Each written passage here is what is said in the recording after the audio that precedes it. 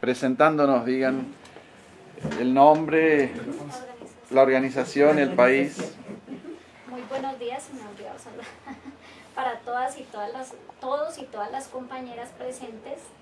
Mi nombre es Lina Isabel Cañas Prado, dirigente sindical, representante de Sintracuavalle, una organización de trabajadores de Colombia, de la región del Valle del Cauca, tercer departamento más grande de Colombia, eh, nosotros le prestamos el servicio en el Valle del Cauca, Colombia, alrededor de 700 mil usuarios de los municipios pequeños de ese departamento. Eh, en el Valle del Cauca son 42 municipios, nosotros le prestamos el servicio a 33.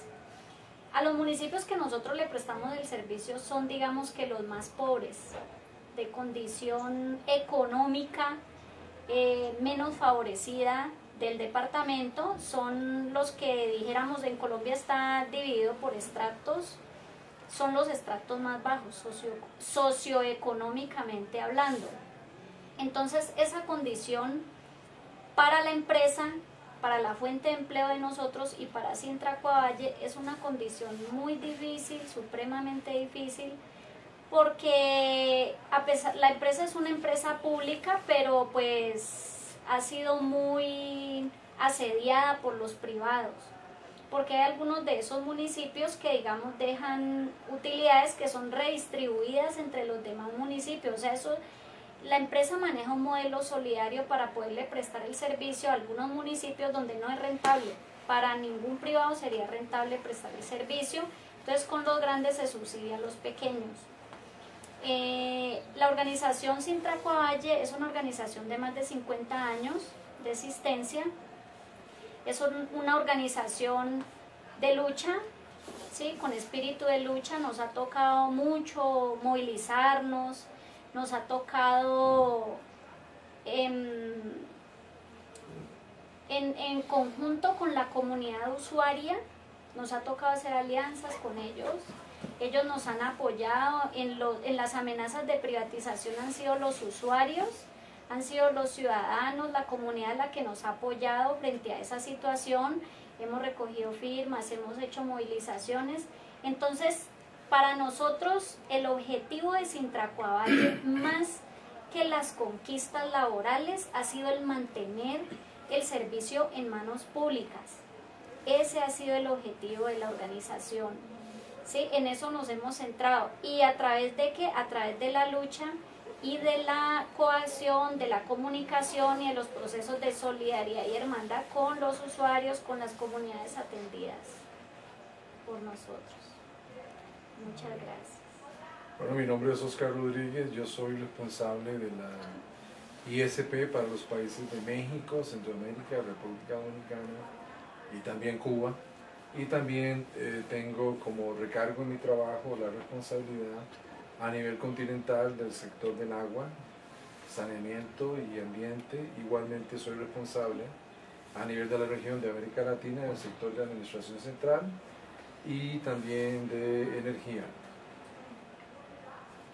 Mi nombre es Ismael Cortazo, soy de Uruguay, de la Federación de Funcionarios de las Obras Sanitarias del Estado, FOSE, nosotros eh, somos una organización que tiene más de 55 años de existencia, eh, con un proceso bastante, bastante exitoso de lucha contra las privatizaciones. Conseguimos en el 2004 con, eh, una alianza con la organización sociedad civil organizada y con partidos políticos poner en la constitución de la República el derecho humano al agua la empresa está ubicada en todo el país, o sea que tenemos un sistema de subsidios cruzados que permite que aquellos departamentos o localidades más ricas subsidien a las más pobres.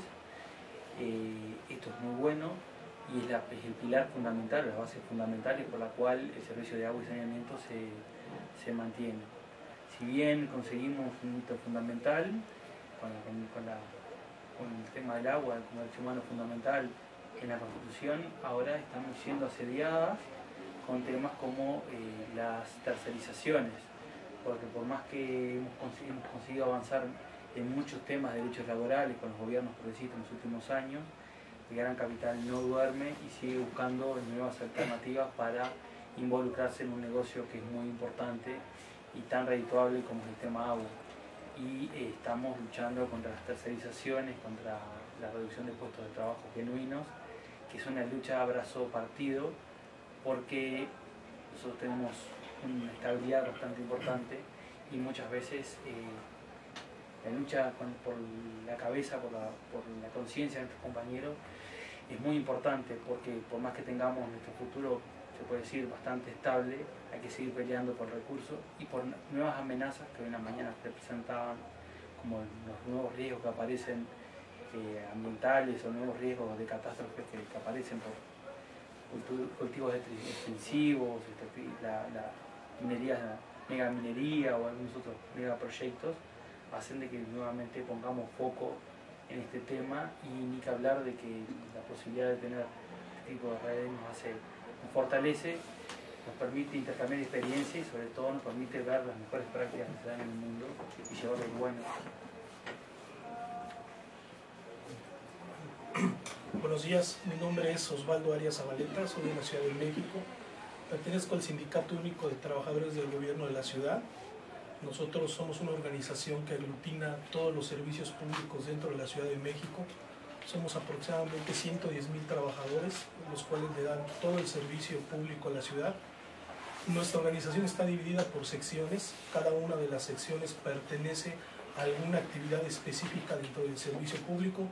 En el mío particular yo soy de alumbrado público y tenemos la misma problemática en cuanto a lo que respecta al agua, la privatización de la misma.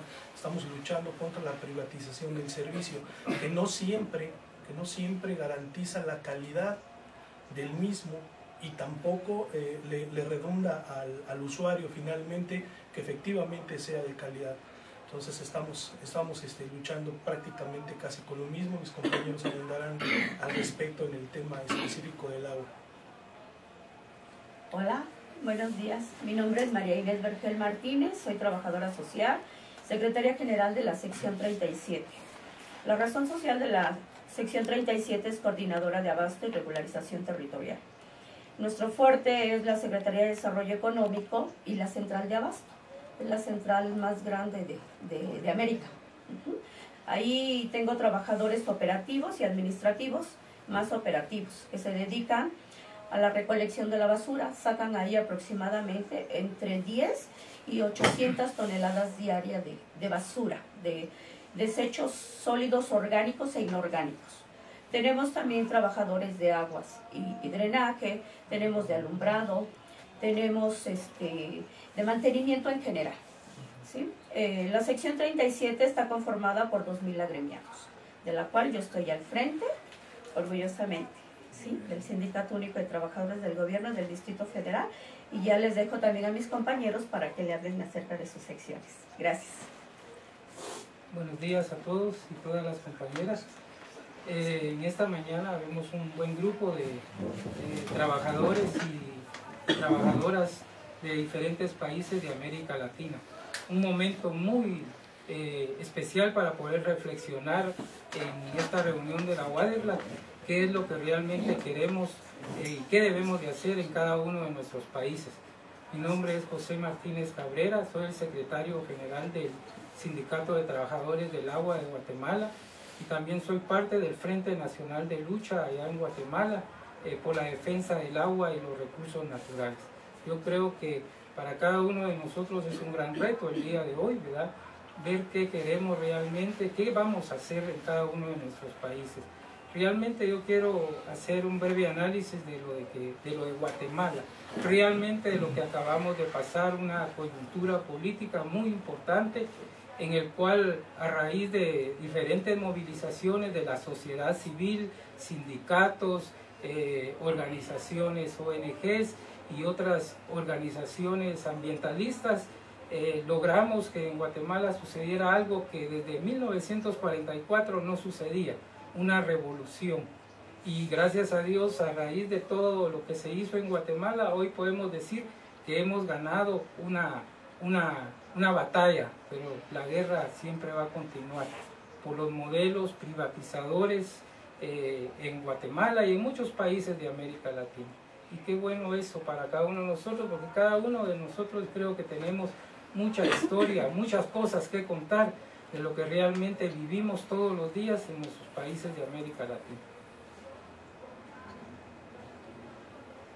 Buenos días, yo soy Luis Izarra Delgado, vengo de Perú, soy el secretario general de la Federación Nacional de Trabajadores de Agua Potable de Perú y también hago la labor de secretario general de Contaguas, la Confederación Continental de Sindicatos de Agua, Saneamiento y el Ambiente de América.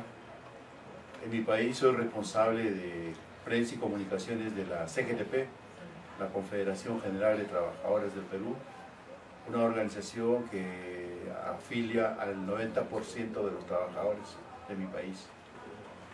Bueno, en primer lugar, eh, para nosotros es eh, muy gratificante poder participar en el séptimo encuentro de Waterland. Saludamos eh, la presencia y además la convocatoria, esta invitación que ustedes nos hacen a las organizaciones sindicales. En diversas partes de América hemos visto cómo las organizaciones sindicales están acercándose a, la academia para unir fuerzas frente a un tema común que tenemos que es el modelo económico neoliberal. Y desde esa perspectiva es que hemos venido luchando de diversas formas, pero fundamentalmente, como dijera Oscar en su presentación el día de hoy, los sindicatos no solamente estamos hoy en día con la protesta, sino también con una propuesta. Una propuesta para cambiar el mundo, para cambiar el país y para brindar servicios públicos de calidad. Nosotros, los trabajadores y las trabajadoras de la Internacional de Servicios Públicos, apostamos por servicios públicos en manos públicas, pero eficientes, modernos, con responsabilidad social. Por encima de las barreras de las fronteras, estamos luchando contra las privatizaciones, contra la corrupción, porque los servicios públicos estén en manos públicas. Estamos luchando contra los nuevos tratados de libre comercio, los gobiernos eh, se han unido y por ejemplo vemos que en la OIT antes había tres estamentos, los representantes de los, de los gobiernos, representantes de los empresarios y representantes de los trabajadores. Hoy en día los empresarios y los representantes del gobierno son uno solo, porque tienen una sola política, el modelo liberal. Entonces, esa instancia ya no es tripartita. Nosotros, este, ahora es solamente bipartita. Nosotros, por eso, es que buscamos nuevos aliados, buscamos nueva estrategia. Y en eso hoy en día la ICP está desarrollando, tiene acuerdos concretos para luchar por fortalecer los servicios públicos de calidad. Es evidente que se está judicializando la protesta social, cada día se nos limita más y más a salir a las calles, a manifestar o a ejercer el derecho a la libertad sindical, a la negociación colectiva en diversos países, por ejemplo, en estos momentos hay organizaciones sindicales que están en las calles precisamente demandando que se respete el derecho a la negociación colectiva, el derecho a la sindicalización, el derecho a la libertad sindical. Para ellos, desde aquí, nuestra solidaridad a los hermanos y hermanas que están luchando, y en especial para el pueblo de Guatemala, para un gran compañero como es Luis Lara, que a pesar de su estado de salud, viene afrontando valientemente las acusaciones que desde diversos grupos de derecha y de gobierno vienen acosándolo. Y el saludo fraterno para todos mis compañeros y compañeras de la ICP, tanto de América como del mundo. También nuestro reiterado agradecimiento a los organizadores, muy especialmente Esteban Castro, por este esfuerzo que hace y además porque ha incorporado a los trabajadores y hoy en día tenemos voz en este espacio. Muchas gracias. Bueno, soy Wilfredo Romero, eh, vengo de El Salvador, eh, soy secretario general del sindicato de empresas trabajadoras de, de ANDA, el Z, eh, empresa que administra hasta este momento el servicio de agua potable y saneamiento en mi país. Y nuestro trabajo es enfocado en, en, garantizarle a los trabajadores estabilidad laboral, garantizarles el respeto de sus derechos eh, mejorar las condiciones salariales, eh, sociales y laborales de los trabajadores, eh, así como también trabajar de la mano con el pueblo para que tenga un servicio de agua potable eficiente y de calidad.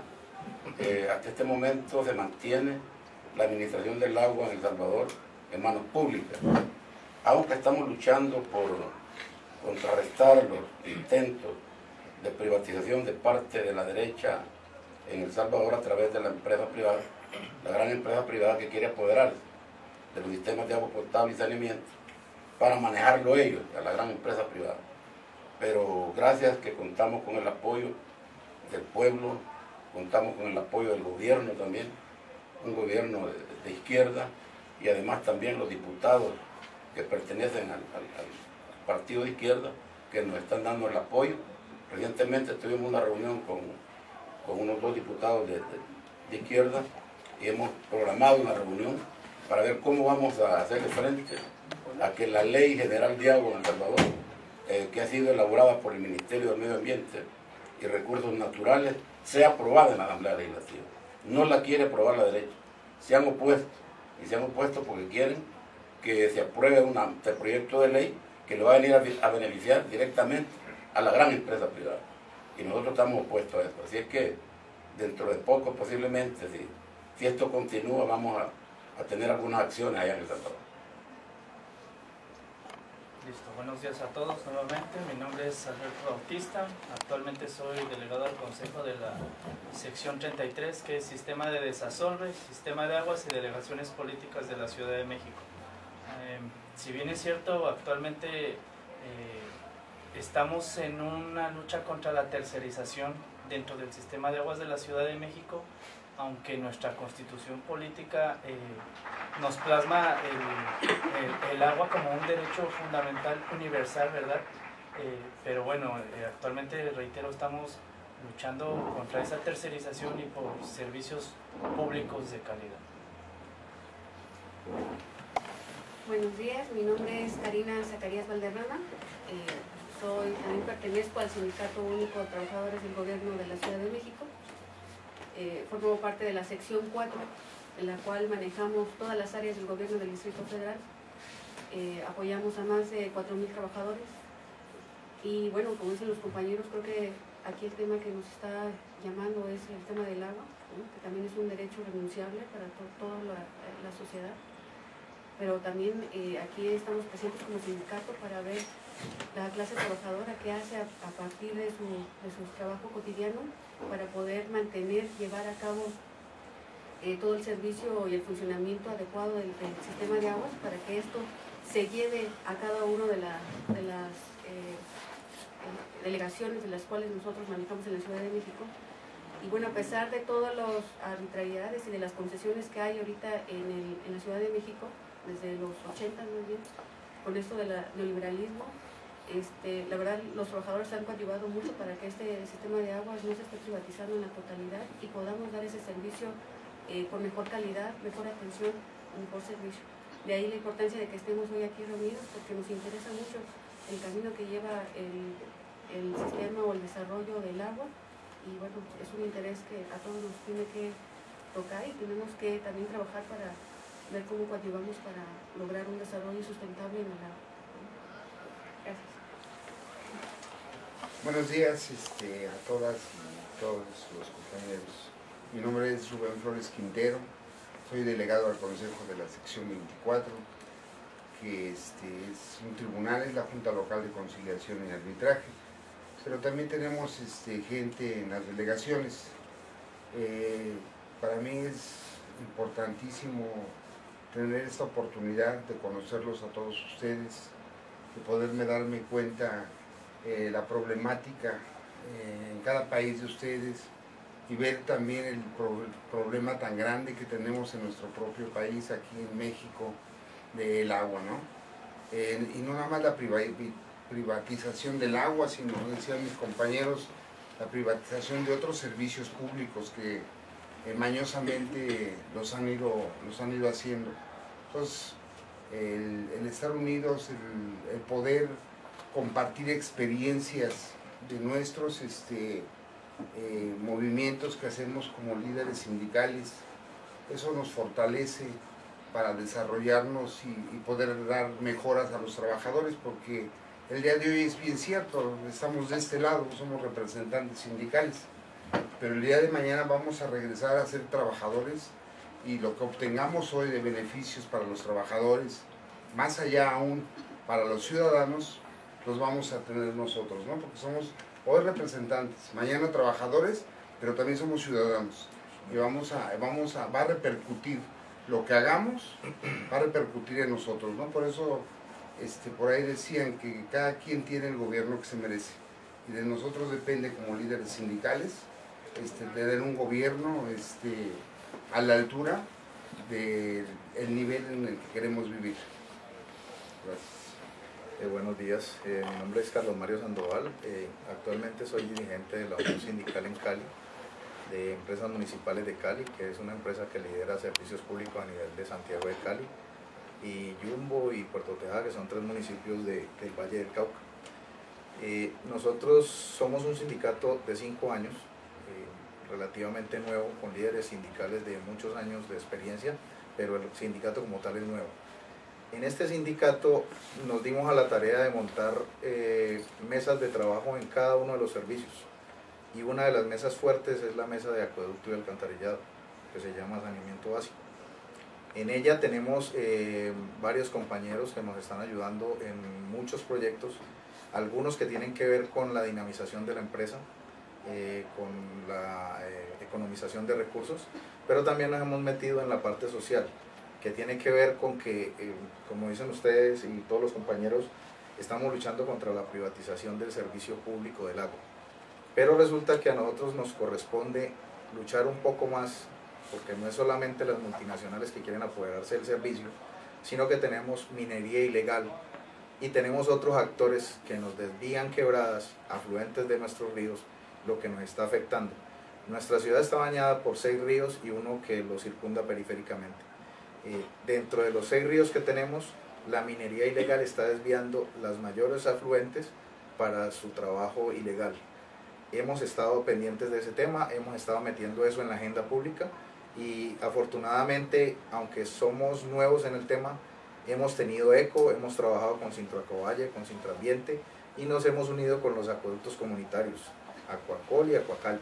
Esto nos ha servido mucho para organizar la comunidad, y para, hacer, para tener acciones reales en cuanto a esto.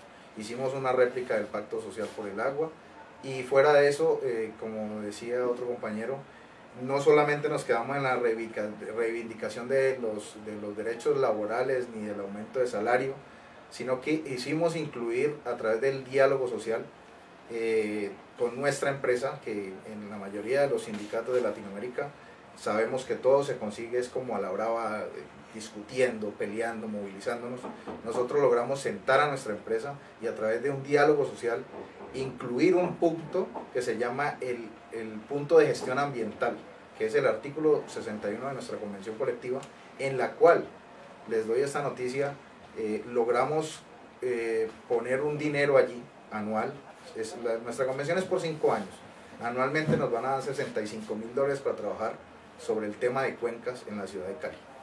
Sobre eso estamos y esto lo ampliaré en la exposición que haremos más adelante. Muchas gracias. Buenos días, mi nombre es Yolanda Jaguandoy, pertenezco al grupo técnico de agua UCE. Eh, como decía Carlos Mario, eh, se ha preocupado porque él presta, nuestra empresa presta tres servicios que es agua, energía y telecomunicaciones. En cada uno de los servicios se han montado mesas técnicas. Pertenezco al de la mesa técnica de acueducto y alcantarillado.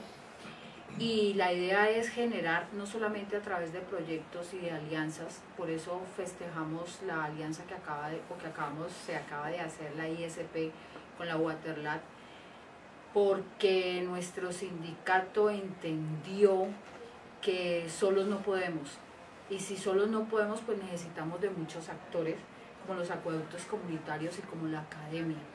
Entonces nuestro llamado es a que los, la Waterlad y todos nos unamos para poder empezar a, eh, generar muchos compromisos de parte de la de, de acuerdo a la parte legislativa, de acuerdo a la academia y que todos estemos unidos y podamos rescatar nuestros recursos.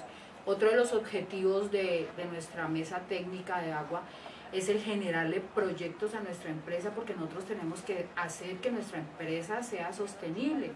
Entonces, por ejemplo, hemos eh, implementado un coagulante de segunda generación que tuvo un ahorro de mil millones de pesos para nuestra empresa y así entonces ya podemos decir, bueno, si nosotros generamos esto, podemos pedir esto.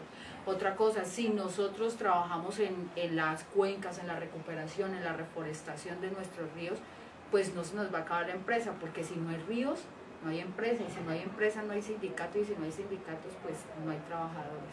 Entonces ese es como el llamado a unir esfuerzos entre todos para poder sacar finalmente estos temas adelante. Buenos días, eh, mi nombre es Harold Fernández, soy el presidente de Sintrambiente Valle. Sintrambiente es el Sindicato de Trabajadores del Sistema Nacional Ambiental de Colombia, es un sindicato de orden nacional y celebro ante todo este este nuevo encuentro con la red Waterlat de nosotros como parte de la, gran familia de la ISP, eh, que busca ante todo eh, poner en práctica ese trabajo que desarrollamos día a día como trabajadores, pero unido al conocimiento que necesitamos para un mejor desempeño de nuestra actuación. Eh, hoy voy a, exponer un trabajo que arranca desde hace unos años, trabajo nuestro en la búsqueda eh, de encontrar actores eh, con los cuales hagamos eh, propósitos comunes en defensa del agua.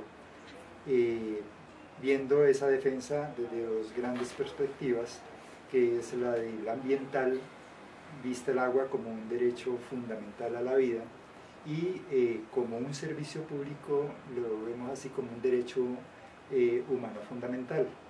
Eh, es decir, estamos hablando de agua potable y nuestro punto, digamos, de, de, acción inicial es el Valle del Cauca, que es un valle andino del suroccidente colombiano, que es uno de los digamos en general tiene las mejores condiciones, de las mejores condiciones territoriales comparativamente con otras regiones en Colombia, pero que comparte igual a nivel de todo Colombia eh, eh, las falencias eh, de cómo el Estado llega o, está llegando para cumplir con sus deberes y sus compromisos de atender bien a la población rural. Es decir, hay, como lo escuchamos esta mañana, eh, hay indicios de que a nivel urbano, digamos, las políticas públicas han tenido cierto alcance eh, y eh, tienen indicadores algunos positivos, pero a nivel rural pasa lo contrario. Es decir, ahí hay un silencio de las entidades públicas con información pública y, y, ahí, digamos, se percibe unas grandes deficiencias en llegarle al sector rural. Los campesinos organizados a, través de eh, o a partir de organizaciones comunitarias para la prestación del servicio de acueducto. Estamos hablando mayoritariamente de agua cruda, agua no potable, o sea, no cumplimiento de las metas del milenio es clarísima. Y parte de lo que nosotros como trabajadores vemos indudablemente la necesidad de proyectar nuestra acción eh, sindical, nuestro quehacer sindical más allá de la empresa y como parte de la sociedad civil, porque eso son las organizaciones de los trabajadores, somos sociedad civil organizada, poder proyectar hacia nuestro entorno esa acción, es decir, hacer el ejercicio de, y el, el, entrenamiento, digámoslo así, o, la, o el desarrollo de la conciencia sindical de, de nuestra comunidad, hacerlo sobre la práctica de la transformación de la realidad y transformarla para el bien eh, no solamente de, nuestro entorno inmediato, que es el de la empresa, sino de nuestra sociedad. En esa medida, hace unos años, eh, con el, en solidaridad con eh, Unison, que es un sindicato inglés de servicios públicos, logramos indudablemente dar, empezar a dar esos primeros pasos. Esos primeros pasos nos dirigían hacia cualificar nuestro capital humano como sindicato y de ahí vimos la necesidad, casi que por la misma dinámica y el compromiso que tenemos eh, eh, en la defensa del agua, desde lo ambiental y desde los servicios, la necesidad de de abrirnos y primero integramos indudablemente a los sindicatos eh, hermanos del territorio aquí presentes, en Valle y, y UCE, y fuimos formando una alianza que fue creciendo eh, y de eso, digamos, eh, esa experiencia es la que le contamos hoy, fue creciendo y en esa medida, digamos, incluso como ISP igualmente, empezamos a, a, a, fortalecer ese, esa trama de relaciones que empieza eh, inicialmente por los sindicatos, que se proyecta luego a la sociedad civil con organizaciones de segundo nivel de los eh, acueductos comunitarios de la región, buscando llegar a unos 1.200, 1.400 acueductos de campesinos organizados alrededor de organizaciones de juntas administradoras del agua, así se llaman las organizaciones comunitarias que administran los pequeños acueductos. Y eso es un gran reto, indudablemente, de cómo llegarle, cómo, digamos, eh, establecer esas relaciones para llegarle a una población muy grande a la que el Estado no le ha llegado, ¿cierto? Ahora, eh, nosotros nos vemos como un actor privilegiado, actor público, del sector público, y siendo, somos una sociedad civil, eh, organización de la sociedad civil al, interior de una organización de Estado, en el caso de Sintra Valle, eh, perdón, del Sintra Ambiente, pues Sintra Valle igual es una empresa pública, UCE igualmente está dentro de una empresa pública, y en alguna forma eh, somos actores privilegiados de esa relación Estado-sociedad civil. Y ahí es donde estamos buscando poder incidir a través de nuestras acciones en, eh, de forma efectiva en la, en, la problemática del agua desde lo ambiental y desde la prestación de los servicios públicos. Entonces, en esa medida, pues es bienvenido todo este esfuerzo que eh, nos, digo, nos felicitemos de este gran esfuerzo y de, esa integración porque va a permitir que de una forma mucho más cualificada podamos cumplir con esos propósitos de defender eh, los ecosistemas que producen el agua, ¿cierto? que nos aseguran la vida en este planeta con la prestación del servicio público de agua potable.